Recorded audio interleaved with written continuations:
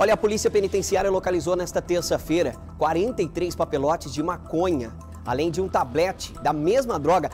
É a ervinha do mal, meu querido. Essa ervinha do mal aí é que destrói famílias.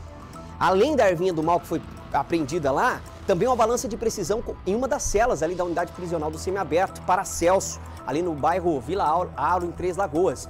Os policiais penais, eles realizavam uma, uma revista ali de rotina nas celas, quando em uma das celas da unidade, eles encontraram então esses 43 papelotes de maconha, um tablete de maconha com 122 gramas, uma balança de precisão. Ao todo, 28 internos que estavam ali na unidade esperando a revista é, foram questionados sobre quem seria o dono do entorpecente. Aí é que ele tá o negócio, né? Pode voltar para mim aqui. Aí é que ele tá o negócio. De quem que é a droga? Ah, você vai perguntar pro cara, quem, quem, que vai, quem que vai falar? A droga era minha. A droga é minha.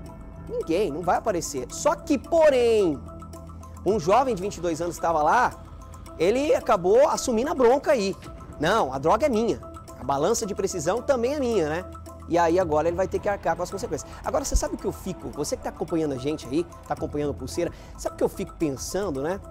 Eu fico imaginando como é que essas drogas elas chegam para dentro dos presídios, né, Ricardo?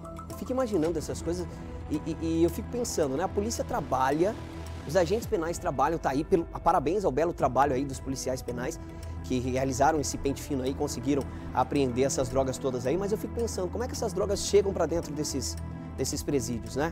É complicada a situação. Parabéns aos policiais aí que conseguiram realizar essa apreensão.